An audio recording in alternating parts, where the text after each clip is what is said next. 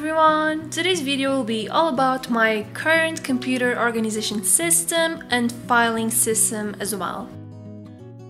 First of all, I'm going to show you what I have in my dock. So I'm currently using Safari, Microsoft Word for Notes,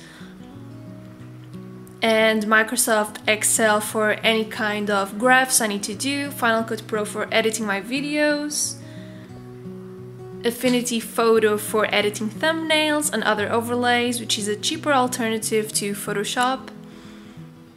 Spotify, of course, then MoneyWiz, which is the app I'm using to, to manage my finances. And also on my desktop, you can see multiple files and folders as well. And these are all currently workable files. So these are drafts for final papers I have to turn in, as well as final syllabus and note batches for my future exams that are coming up very shortly. So I usually keep all of these documents on my desktop so they are the first thing I see when I get to my computer. I know I need to work on them so I won't forget that these are priority tasks. I also keep folders with printables that I currently need to print for class. For example, here I have petroleum transactions law printables, as well as a shortcut for my main folder for my LLM degree. I also have some tax law cases that I also need to work on. So as you can see, basically my desktop is like a mind map, a visual place where I put everything I need to work on so I won't forget if they're hidden in particular folders or another uh, directory. In the upper corner of the screen, in the taskbar, I have my Mate app, which is a translator, very useful in class since I'm Portuguese and I'm taking English classes. And also when I'm writing papers, sometimes I prefer to have um, I prefer to find a quick translation from a Portuguese word I know and then translate it into English. And here I have a very, very efficient um, Instacal app, which is a small calendar that you can pin to the your taskbar, and it basically has all of your synced calendars from your Google Calendar, your iCal app, which comes in your Mac, and it's synchronized with multiple calendars. You can color code each task or each event. It supports multiple months. You can customize the layout of the app as well as create tasks in this small app instead of having to open up your iCal app or using your iPhone to create another task or another event. Then I have an app called Dr. Clean, which is basically a maintenance um, app where I can see CPU usage, junk files, memory usage. This really comes in handy when I'm editing raw footage or when I need to see if my computer is acting up. And then in my Finder, I want to show you how I organize my master's degree main folder. So basically, I prefer this like column view to understand the hierarchy between my different folders and my different files.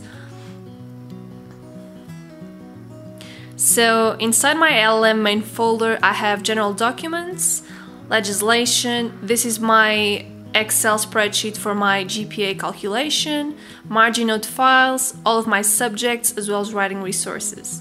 In the general documents, I have things like acceptance forms, uh, regulations. Then in legislation, I have different PDF files for different statutory rules or European legislation that I use while in class. Margin Notes folder is where I have my PDFs with my Margin Note documents, which is a program I'm not currently using as often as I wanted to use.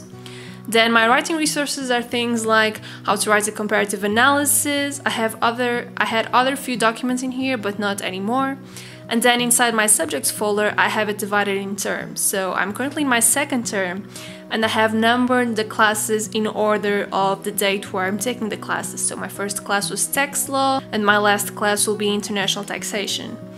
Inside each one of those subjects, I have different organization methods. It can be divided by professor, by number of class, and most of these will have a folder specific for my final paper or my final exam, where I download all of the kind of papers, materials, resources I need for that final exam or paper.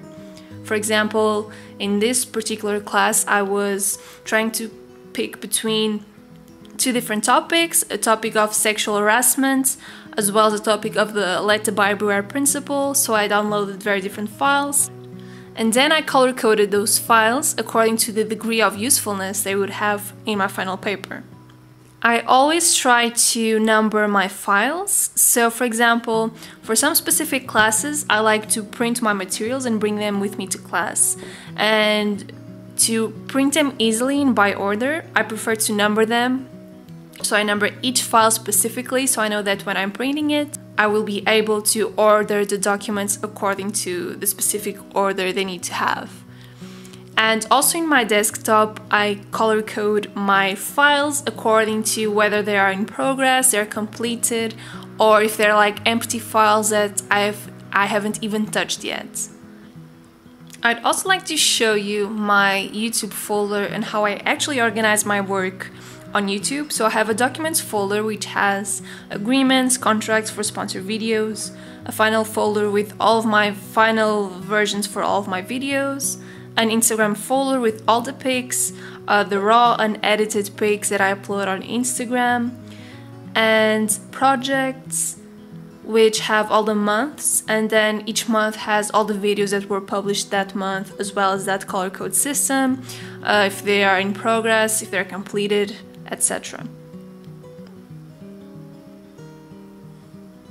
As you can see, here's my computer organization that has a screen captures of what I'm actually doing right now while I'm filming this. So I try to organize it as best as I can to quickly upload it on Final Cut. I also have things like backgrounds and textures, templates, free music, fonts, overlays, plugins, sound effects, and those are all filed under a general folder called video assets, which are basically resources that I need to have while I am editing on Final Cut Pro. So I like to have my videos as neat and as um, I like my videos to match one another. I'm also currently using uh, an application called Setapp, which I've talked about in the past, which is basically a subscription service that allows you to install different kinds of applications uh, without having to pay for individual apps. You basically pay, um, if you can, um, a student discount price for each month. I, I think it's like $4 a month. And you have access to, I mean, dozens and dozens of apps like productivity apps, maintenance, task management, writing and blogging, education. Some of these apps are really expensive. For example, Xmind is worth like a $100. Um, and this video is actually not sponsored by Setapp. I've promoted them in the past, but it's a service that I started to use after I knew about them. And I think it really makes the difference uh, when it comes to maximizing your computer for productivity because they always have new apps coming out every week. So you can constantly uh, be able to experiment with different things without having to compromise to buy a new app every time you want to find out if you like a new calendar, a new um, email, um, a new email app. So as you know, I'm using Safari. I've always used Chrome when I was on a Windows PC, but on this Mac, I really prefer to use Safari. Regarding extension, my Safari is pretty minimal. I only have Pocket and Grammarly installed.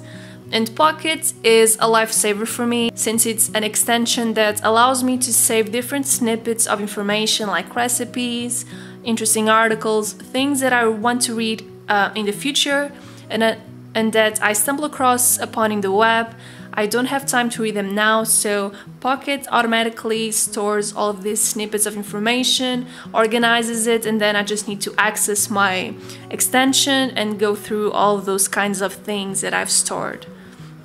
And of course, I also use a lot of Grammarly because I need to send tons of different uh, business emails on a day to day basis. I also work on my blog, so I usually write my blog posts in the blog editor, so Grammarly um, will update my grammar, my spelling, my vocabulary while I'm writing, so it's really useful to have. So I think this is it, guys. Um, this is all for my computer organization. I really hope you've enjoyed this video, and I'll see you guys next week. Bye!